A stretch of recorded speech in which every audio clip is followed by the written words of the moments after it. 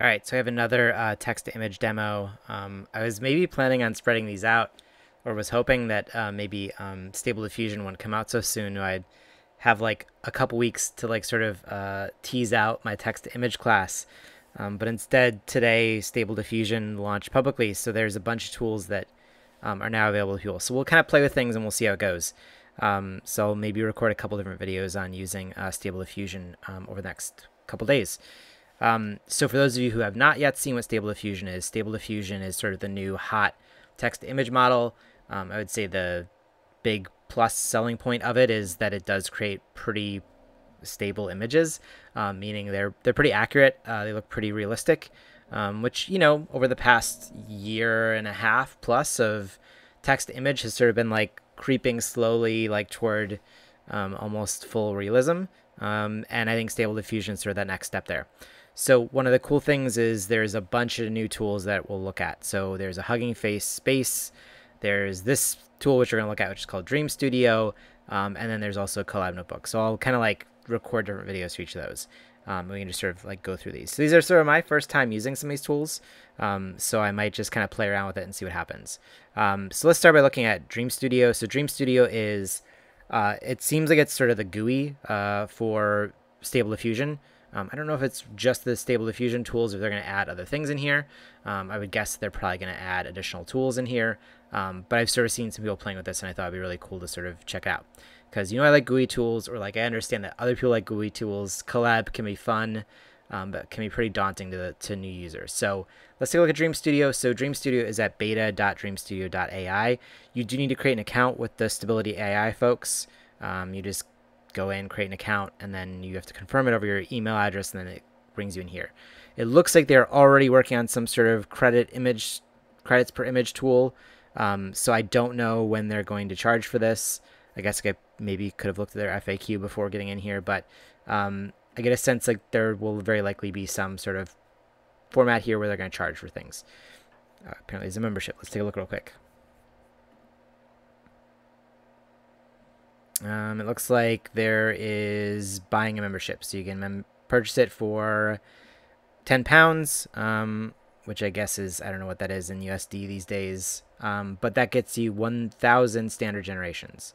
Looks like just by signing up, I didn't give them any credit card information or anything, so it looks like they're giving you sort of 200 generations of free credit. So you can sort of start to see like this is maybe like Midjourney or like other tools that they're moving toward a model where they're going to start charging for um, image generation cool. I mean, that's fine. I mean, I understand these companies need money. Um, we will also, in a later video, look at the Colab versions. If you want to use these tools for free, you can. But you don't get these nice GUI tools. And I think like this is sort of what I think, um, you know, artists who are not maybe as familiar with code want to play with. So let's take a look at this tool. So this is just the Dream. So I assume if you just hit Dream here, you'll get this. Um, and I can see already that there's some width options. So leaving it at 512 by 512 is the default. Um, there is also this config scale, so this adjusts how much the image will be like your prompt. So the higher you crank this up, um, the keeps your image closer. So I guess the lower you have this, the more like diversity or like randomness there is in here. Let's kind of set that toward the middle. Let's do 10 steps. So steps is, if you're watching my previous videos on how diffusion works, diffusion always requires a certain number of steps. It goes from straight noise or Gaussian blur essentially into uh, the final image.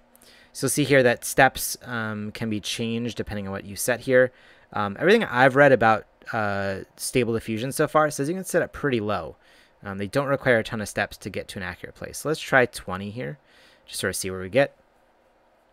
Number of images, so you can generate multiple images if you would like. So you can generate up to 10. I looks like credits per image. I guess when I crank this up and down, is that right? No. Okay, so um, looks like you can just sort of generate this and it'll say credits per image. Maybe this is steps. If I crank up steps, yeah, so see how if I crank up my steps, I'm getting charged more. And if I turn it down, I'm getting charged less. So this is, again, maybe you want to sketch out some ideas based on prompts. Um, and then, you know, you don't want to crank up using too many images, but maybe let's try three here.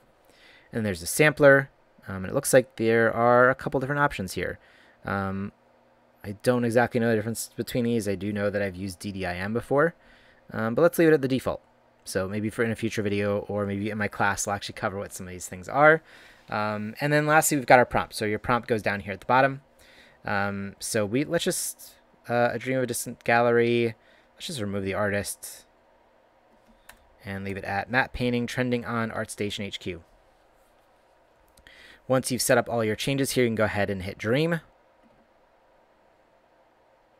And the thing you'll find about stable diffusion is it's actually quite fast. Um, so compared to Disco Diffusion or other diffusion tools, um, it's pretty fast in how quickly it can represent. And here already you can see in 20 steps, um, it was able to generate a fair, this one's pretty nice. I like these two.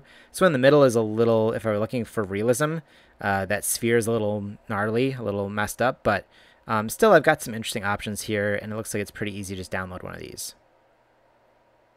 And from there, I can maybe see, let's see how many credits this said I used up. Cool. So it says that I used up one generation, I guess. So that's cool. Um, it didn't actually really cost me that much. Um, I guess it cost me, you know, 0.12 pounds. Maybe that's like 10 cents um, in USD or something. Um, so go back to Dream. It did reset. Uh, okay, well that's a little annoying. Didn't save my, my didn't save my um, settings here, but I bet if I go to history. Oh, interesting. Okay, so you will lose these when you leave. That's a little frustrating. Would have downloaded all those had I known that. Let's see if it works. Info. Save image as. Let's see if this saves out.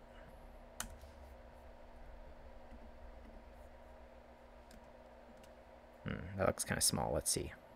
Yeah, okay.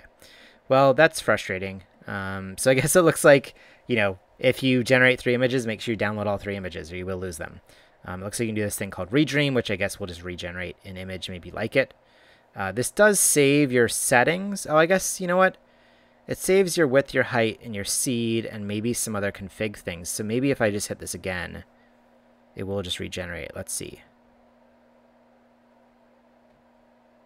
Meh. It looks like it, re it does regenerate your image. So in this case, right, not ideal, but uh, I was able to regenerate it. And it looks like it actually changed, so it didn't keep my steps setting.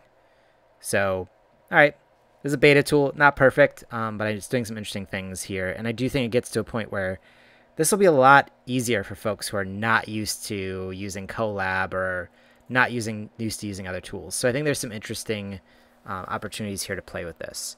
Um, it is beta. They're giving me these credits for free. I didn't give them my credit card information or anything. So you can kind of screw around and sort of make mistakes like I just did um, without being charged. And then once you have a better sense of how the tool works, you can go ahead and expand it.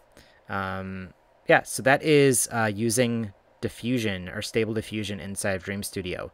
One thing you'll notice is there is not like a way to generate video out of this. There's not a uh, initialized image like you might get with Disco. So Stable Diffusion is pretty basic uh, to start with. I would assume that all these tools are very rapidly going to expand into including initialized images, generating video, all these other things. I actually know the Stability AI folks are working with Runway, um, and I think I saw something that they're going to bring um, text to video to come pretty soon. So I think there's a lot of cool stuff coming here. Um, let's see what else is over here. So we've got prompt guide. So this is a pretty interesting. I mean, if you've never done um, any of any text to image stuff, you might find this pretty helpful. So um, this will just sort of break down how you might go about uh, generating a better image based on prompt engineering. Um, I've also seen some guides on Twitter about how Stable Diffusion differs from maybe DALL-E or Midjourney. Um, so I'll see if I can grab some of those and maybe post links in our video description. Um, but overall, like I actually think this is a pretty cool tool. Knowing that Runway is kind of moving away from this kind of experience and really focusing on video, I think there's an opportunity for some like Dream Studio to step in and actually sort of like make a case for having tools like this that are available to uh, people who are not super code friendly um, or not as familiar with code. Um, so I think so far I'm pretty excited about Dream Studio. Uh, obviously some bugs in beta, but again I got free credit, so I can't really complain too much. Um, so this was taken as of I think August 22nd. Um, so my guess is like in the next couple weeks, next month, maybe through the end of the year, uh, Dream Studio will have a lot of changes. I can definitely imagine seeing that happening. Um, so go ahead and play with Dream Studio. Uh, I don't have any referral code or anything to give you. Um, just go to beta.dreamstudio.ai, and I think they'll just give you the two pounds of free credits up front. Um, so you can go ahead and play with that. Um, and then, you know, if you make something cool, let me know. Uh, so I will be doing a bunch more Stable Diffusion videos over this week. Um, I just was really excited to sort of see Dream Studio because I kind of missed that runway feel. Um, it looks like this is kind of approaching that idea. Um, I'll do one. Um, there's a Hugging Face space we'll do, and then there's also a Colab. So I'll go through the Colab um, maybe tomorrow or the day after because I think that's really where people will want to be able to play with a lot of the code um, directly and be able to manipulate it, and that's going to be free. Um, so I hope you enjoy this video. Uh, if you are interested in more text to image, I will be teaching a class uh, starting in the middle of October um, East Coast time evenings, um, but I might will very likely also be doing an audit version. So if you're anywhere on the globe and you just want to hang out in a Slack channel um, and get the videos day of, I'll make that available as well. Um, I've sent out the link to folks on uh, my Patreon and on my YouTube membership. Um, if you want to join, you'll find that link. Um, minimum is like a dollar a month. It's pretty cheap. Uh, if you want to be first to get access to that class when it goes public, which will probably happen the next week or two, um, you can sign up on my newsletter. All right, uh, that's enough for me today. I hope you found this video enjoyable, and I hope you start to have fun with Stable Diffusion. Thanks.